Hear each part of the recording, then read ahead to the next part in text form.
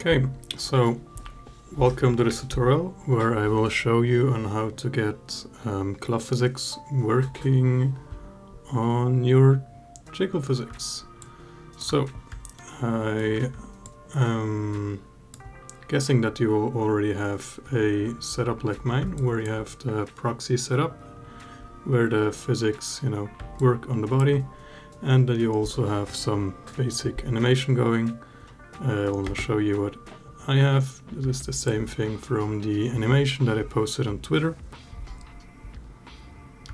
So just some basic animation. Um, in my case I don't have the animation in the timeline itself because I've done it as an NLA track here and I've blended in the animation here, the blend in, so that we start out from a T-pose and then we gradually go into the animation. This will um, help a bit, um, you know, to help the clothing stay in place better and, you know, hopefully not fall off and so on. What you also will need is, of course, your clothing piece.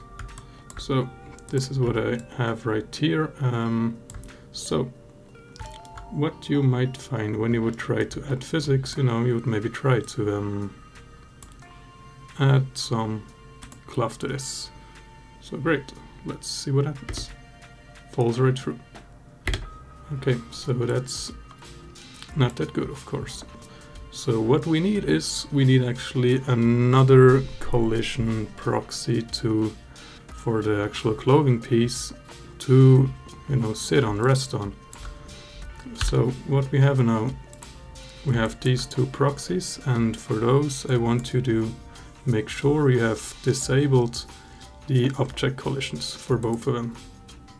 Because if, if when they are on, they will explode when we add another uh, collision object beneath them. So the reason we now are going to add a separate collision object and not just use our main mesh is because it's going to be a lot more performant. If you would just copy paste our whole main mesh, you know, we're gonna have collision, uh, collision calculated on on areas that are completely not needed, like, you know, for example, like feet and legs and hands, the head, so on. Because the only real area we need to um, calculate is, you know, the chest area. Select your mesh. I'm going to numpad slash isolate the mesh, so it's a bit better overview. Uh, press tab to go into edit mode. Top right, you can toggle X-ray.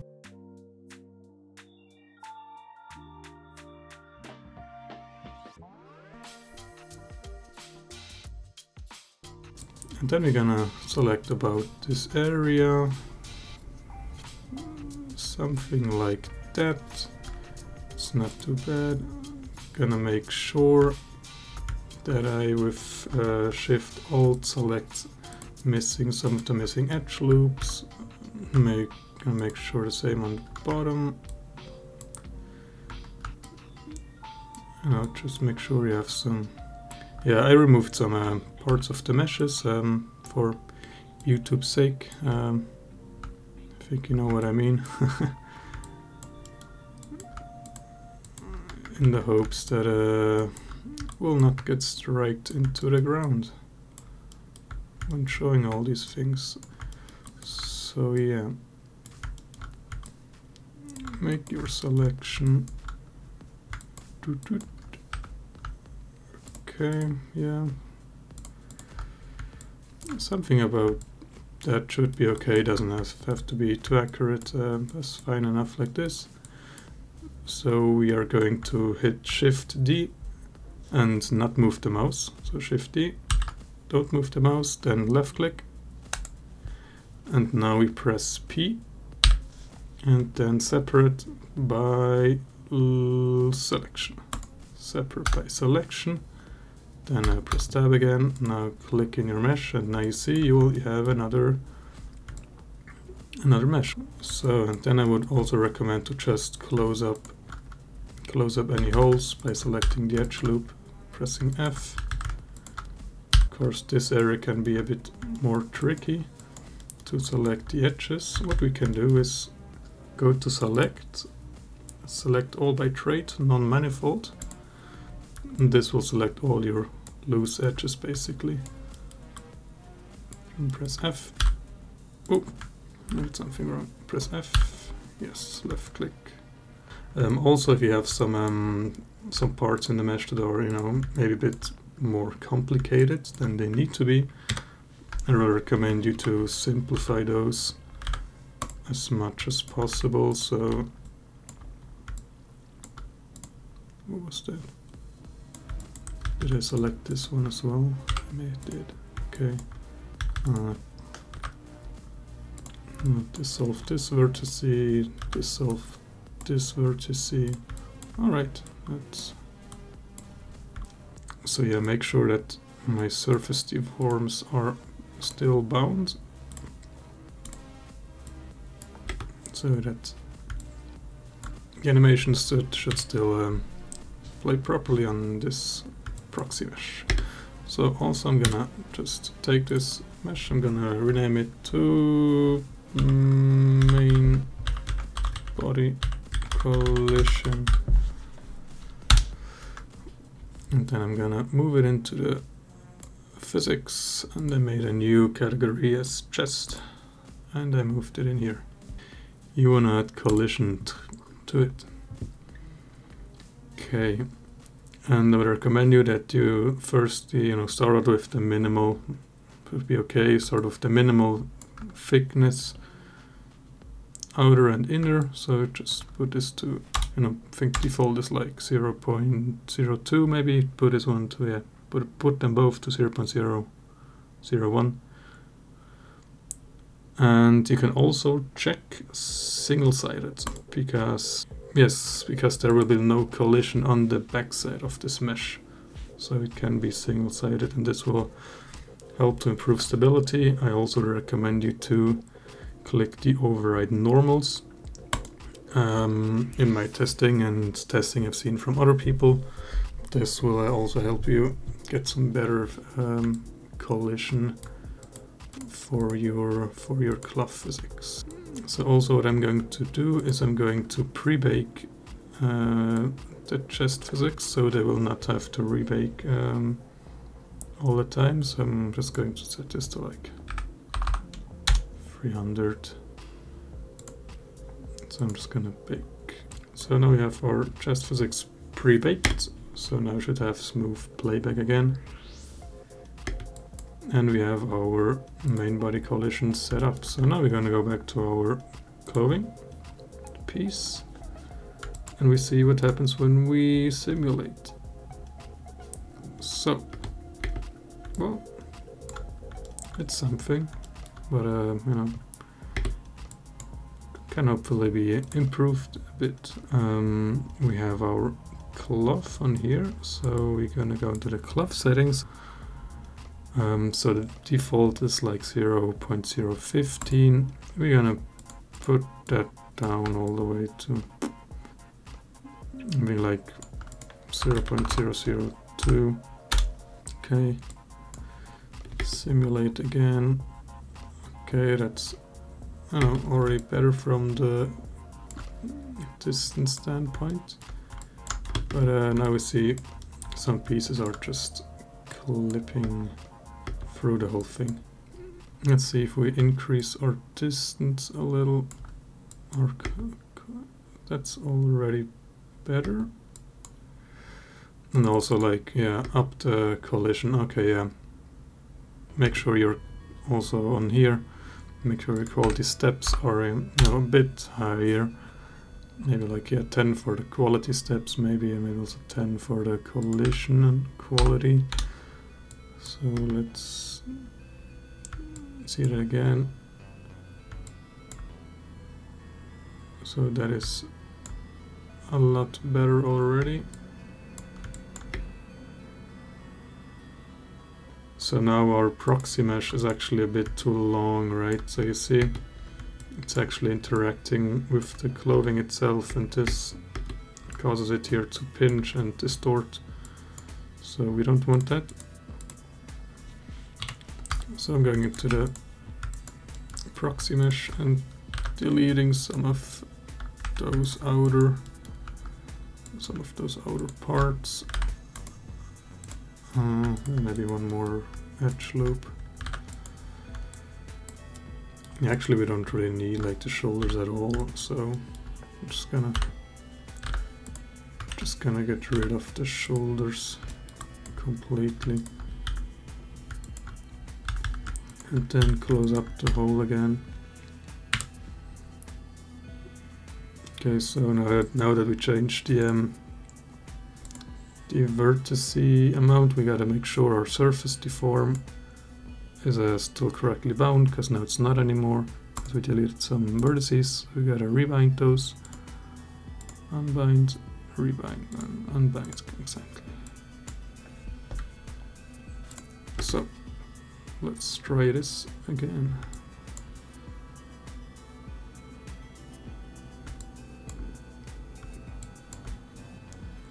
So yeah, that's already looking pretty, pretty good.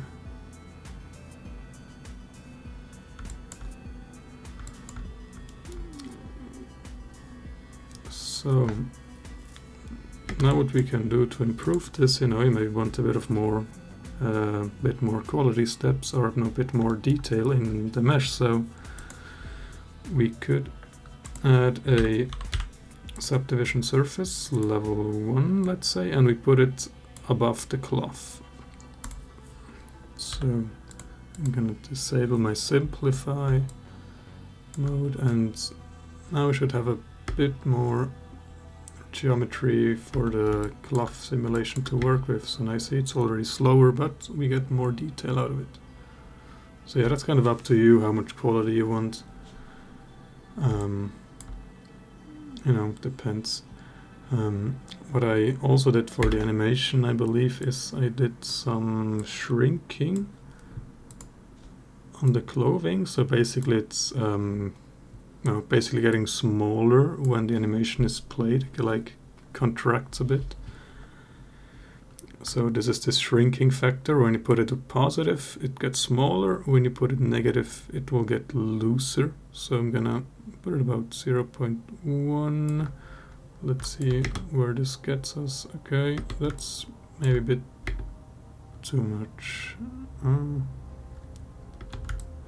also the think the friction is a bit too high. I'm gonna like turn the friction down quite a bit, okay. And also the shrinking factor I'm gonna put like 0.05 maybe.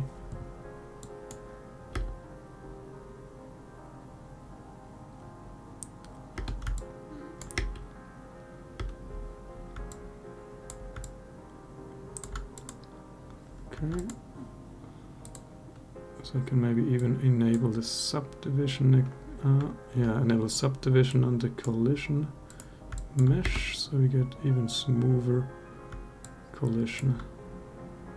But yeah, now it's gonna be, you know, decently slow. Uh, especially since I'm also recording and yeah, doing this, this uh, kind of face cam thingy. So yeah, that's basically how I set this up. So what you can also do to make the finished result even better without like, you know, paying more performance for the simulation is you can add a subdivision at the end after the clothing as well. So without it, this looks like this, and if you add this one as well, you know, get even, it's gonna be even smoother which is nice. Um, something else, you know, for this clothing piece I also believe I added a bevel modifier as well. Oh no, no sorry, not a bevel. A solidify. And I put it under the cloth and above the last subdivision. So this will, you know, make some nice looking kind of thickness to the cloth. So now I think to the last part, if you struggle with the cloth piece staying in place, or you know, if it would like drop down the shoulders, which can happen really easily, uh, I would recommend you to add a addition, or like to make a pin group for the pieces that you want to kind of stay in place more or less. Okay, so sorry I made a mistake, so don't add the group with weight of 1, but actually do something like weight 0.05. Right, so and assign, assign that with a weight of uh, 0.05. No, wait, 0 0.5, okay, there we go. Uh, go to weight paint, and I'm gonna uh, try to get mirroring working, maybe, or not. Well, guess not, but um, I'm still gonna smooth it out a bit. Mirroring, sometimes it seems to work, sometimes not, who knows. Alright, so I'm going to your cloth settings and under shape pin group select your pin group. So now even if we would disable the collision on our um, collision proxy and we simulate it's not gonna completely fall down because we have some kind of a stiffness group. We can now play with this value, turn it down a bit, and I see it falls even more. But it still kind of stays in the general area where it should be. Also turn it up all the way, then we'll be like pretty much forced to be at the original position, but that's not what we want. We want to have maybe like something oh, even less. For my case, maybe like 0 0.2 or maybe a bit more 0.3 maybe then I'm gonna um, enable the collision again. So this will make sure that the clothing piece you know the important parts stay on you know stay in the mesh where they're supposed to be. All right. So yeah the rest will then just be um, baking it all out. Um, you can do that right now so you can get an idea of how it will look. So we'll just bake all dynamics and then I will show you how it looks like. Okay, now it's done. Alright, so now we see the cloth actually properly interacting with the physics. So yeah, that's about how I made this animation. Oh yeah, also as well, make sure you um, make the collision mesh um, display as wired and also disable the ray visibilities so you'll make sure they'll never um, show up in your renders since you know of course I don't want them to show up in your renders. Right, that's about it. Thanks and have fun.